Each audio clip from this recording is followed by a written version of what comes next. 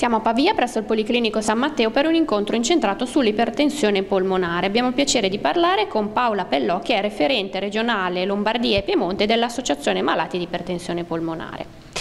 Allora Paola, ehm, ci racconti un po' chi siete e quali sono le vostre principali attività? Allora, l'AMIP, che è l'Associazione dei Malati di Ipertensione Polmonare, è nata con lo scopo di aiutare i malati e di creare un ponte tra il malato e il medico, in quanto purtroppo capita che, come a Pavia sta succedendo, che arrivano molti malati dalle, da varie parti d'Italia e quindi hanno delle difficoltà enormi nel raggiungere sia la città di Pavia e sia dove fermare fermarsi a dormire e dove anche alloggiare e quindi noi come associazione il nostro scopo è di poter aiutare, coordinare questi malati quando arrivano a Pavia, di cercare degli alloggi per poter eh, soggiornare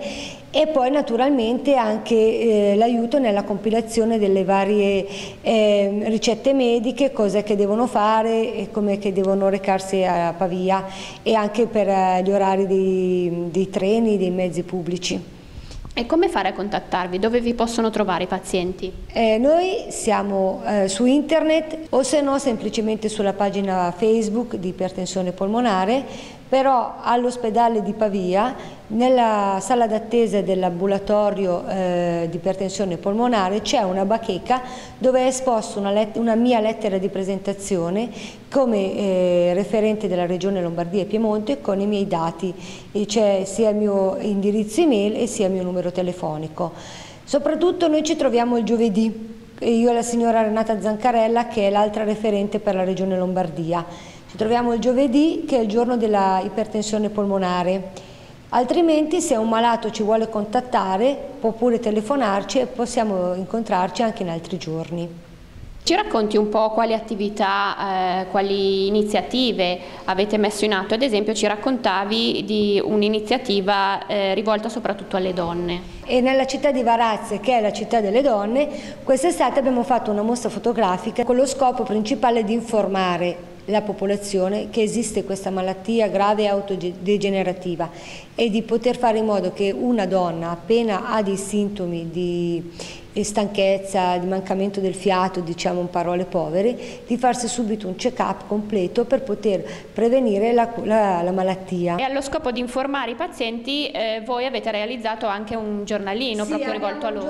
abbiamo un giornale che esce semestralmente e viene inviato per posta a tutti gli iscritti. Naturalmente un malato che si iscrive alla nostra associazione, l'iscrizione è completamente gratuita e ogni sei mesi arriva a casa questo giornale giornalino informativo e una volta all'anno cerchiamo di fare un incontro medico-paziente per poter fare un punto sulla situazione